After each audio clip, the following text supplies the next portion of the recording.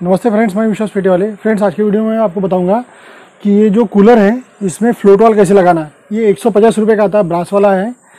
ये फ्लोट वाल है, जैसे टंकी पे लगता है, हाफ़ इंच वाला फ्लोट वाल है। यदि ये फ्लोट वाल इसमें लगाते हैं तो ये जो टंकी है, टंकी में पानी भरने की ज़रूरत नहीं पड़ती है।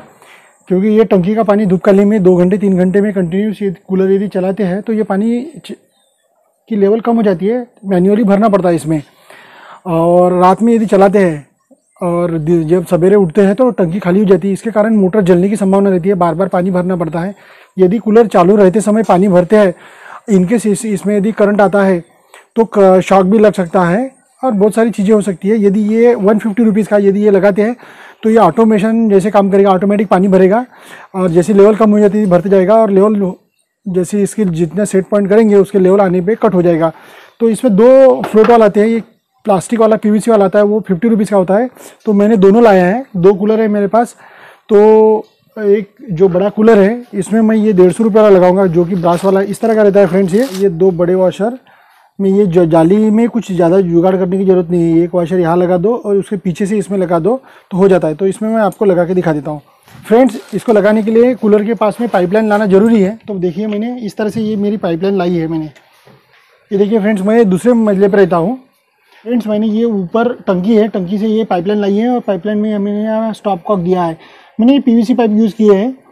ये सी पीवीसी पाइप यूज़ किए हैं ताकि ये सस्ते में पड़े और जल्दी हो जाए। इसमें ज़्यादा एक्सपर्ट की ज़रूरत नहीं पड़ती है। और ये स्टॉप कॉक लगाए हैं। स्टॉप कॉक लगाने के बाद मैंने इस तरह से अटैचमेंट किया है तो ये मैं यहाँ लगा दूँगा। यहाँ तक मैंने लाया है, इसको चालू करता हूँ तो ये पानी आ जाता है इसमें। तो मुझे हर बार पाइप लंबा करने की ज़रूरत नहीं पड़ती है। तो मैं इसको लगा देता हूँ। इसको लगाने के लिए पहले कूलर खोल देते हैं और इसको कैसे लगाना है देख लीजिए। सस्ता है और एकदम एक बार लगा देते हैं तो ये आपको सालों साल चलेगा। तो इस वीडियो का पूरा देखिए।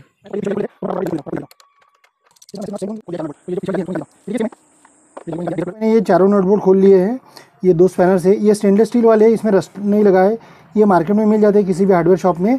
तो इसको बोलना पड़ता है कि स्टेनलेस स्टील वाले दो। इससे इसकी लाइफ अच्छी रहती है रस्ट नहीं रस्ट नहीं पकड़ता। और ये कभी भी खोल कर फिट कर सकते हैं। इस तरह का रहता है। ये जब ये नीचे रहता है तो ये ऑन पोजीशन में रहता है। यहाँ पे आप देखोगे, ये देखिए ऑन ऑफ़ हो रहा है ये। इतना इसका ट्रैवलिंग है। तो हम क्या करते हैं, अभी ये जो पानी की लेवल है, ये 75 परसेंट फिल है। तो इसको 75 परसेंट जब लेवल फुल रहता है, उसी समय इसको सेट कर रहे हैं, ताकि जब कूलर बंद करेंगे तो जो ऊपर वाला पानी नीचे आएगा तो ओवरफ्लो ना हो जाए। तो देखिए, इसको अंदर से लगाना है। तो इस तरह से लगाना है, देखिए। मैं थोड़ा सा ऊपर लगा रहा हूँ। इस कंडीशन में रहेगा, जब 75 परसेंट टंकी भर जाएगी तो ये बंद हो जाएगा। और दूसरी बात, ये जो मोटर है, ये मोटर भी डूबी रहेंगी। तो इसको यहाँ लगा देते हैं। तो यहाँ लगाने से क्या हो जाएगा, जब इतना लेवल आ जाएगा तो ये बंद हो जाएगा। तो देख लीजिए, अभी इसमें छेद नहीं है तो मैं यहाँ से इसको छेद कर देता हूँ। ये हाथ से ही हो सकता है। ये हाथ से छेद हो गया। देखिए, इसमें छेद हो गया। और सबसे बढ़िया इसकी ये है दोस्तों, क्योंकि इसमें बड़े बड़े वॉशर है तो ये जाली है तो जाली से पास हो जाता है। जैसे मैंने यहाँ से इसको डाल दिया, और यहाँ से मैं निकल रहा हूँ इधर।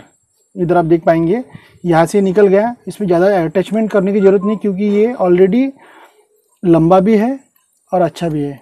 फ्रेंड्स आपने देखा, ये मैंने यहाँ फ्लोट वॉल लगा दिया, ये ब्रास वाला। उसके बाद में इसको कनेक्शन करना है, क्योंकि ये मुझे, मैंने यहाँ स्टॉप कॉक लगाया है।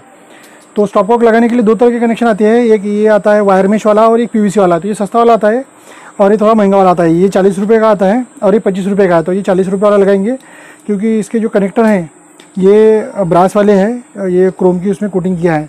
तो ये सस्ता वाला भी लग जाता है मतलब कम दाम में भी काम हो जाता है। तो मैं इसको लगाऊँगा। इसको सिर्फ़ लगाना सिंपल है। देख लीजिए एक बार। इसमें यहाँ वॉशर भी रहते हैं।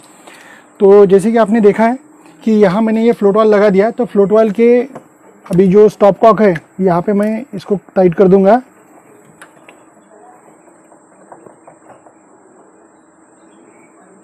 या टेफलॉन भी लगा सकते हैं, पर इसमें वॉशर होने के कारण लीक का कोई चांस नहीं रहता। और ये दूसरा जो कनेक्ट दूसरा जो कनेक्शन है, यहाँ लगाऊँगा मैं। देखिए, बहुत ही सिंपल है ये। इसमें कुछ भी टेक्नीशियन की ज़रूरत नहीं पड़ती, आप घर में भी कर सकते ये। देता हूँ, जिसे चालू कर देता हूँ। फिर थोड़ा सा पानी आ रहा है देखेंगे। तो जैसे टंकी पूरी भर जाएगी, थोड़ा सा भर जाएगी 80 परसेंट तो ये बंद हो जाएगी। मैंने 75 परसेंट पर सेट किया था, पर अभी 85 परसेंट भरने पे कट हो जाएगा। तो ये प्रेशराइज वाटर है, और ये बॉल से ये कट हो जाएगा। देखिए ऐसा अभी फ्लो कम हो गया, और अभी ये थोड़ा और भरेगा तो बंद हो जाएगा। जैसे मैं इसको थोड़ा सा हल्का सा उठा देता हूँ, जैसे इतना सा उठा देता हूँ तो ये हंड्रेड परसेंट बंद हो जाता है। देखिए, ऐसे कुछ भी पानी नहीं आ रहा। तो अभी इसमें टंकी भरने में थोड़ा समय लगेगा क्योंकि ये बहुत ही धीरे धीरे भर रहा है ये। और थोड़ी सी देखिए इसमें थोड़ी सी गैप है क्योंकि ये जब कूलर चालू रहेगा और बंद करेंगे तो 80 परसेंट ये तो भरा रहेगा। पर जो ऊपर के टैंक में जो पानी है, वो ये ये जो रिज़र्व स्पेस है उसमें, रिज़र्व स्पेस में ये पानी ऊपर का समा जाएगा। तो ये ऐसा करना है फ्रेंड्स आपको। तो अभी मैं दिखा, आपको दिखा देता हूँ।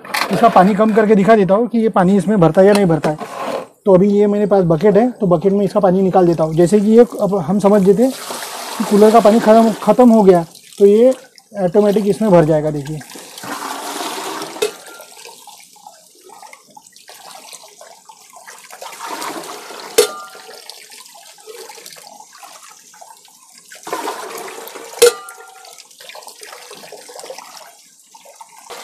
देखिए फ्रेंड्स, मैंने ये कूलर का पानी एक बकेट में निकाल दिया।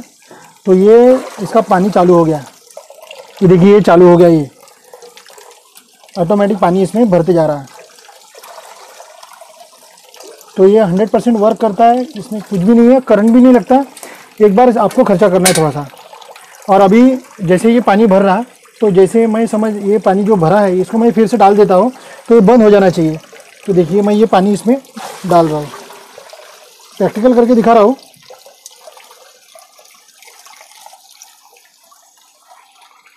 देखिए, मैंने बकेट का पूरा पानी इसमें डाल दिया और जो दूसरी बकेट थी, छोटी वाली, उसका भी मैं पानी इसमें डाल देता हूँ। ये देखिए फ्रेंड पूरी तरह से ये बंद हो गया।